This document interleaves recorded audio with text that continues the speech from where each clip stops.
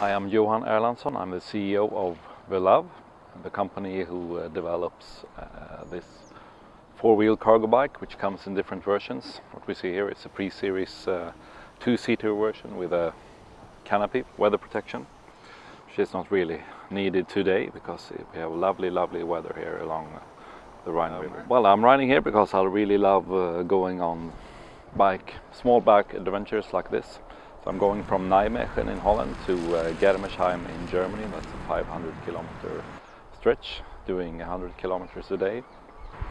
And uh, this is the third day I'm on uh, right now. First day was really good, and uh, yesterday was not that good. A lot of industrial and city riding, starts and stops, and bad bicycle infrastructure. But today turned out very differently, so I'm really enjoying this this day here along the Rhine.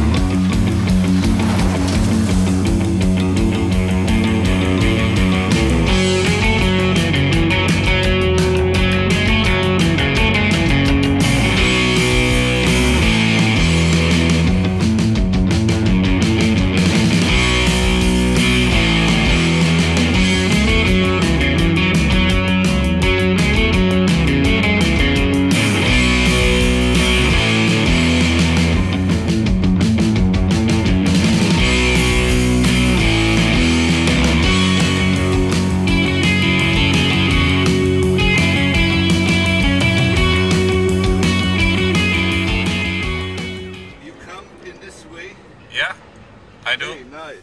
Without atomic, with solar.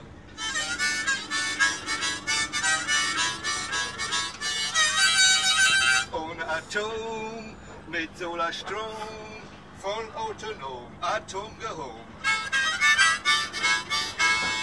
Und dann.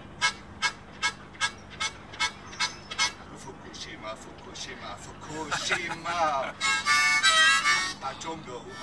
Ahoy. Yeah. thank you very Have much. good- Have a good You- journey. You are welcome, and I'm on your side. Yeah, thank you. You made my day.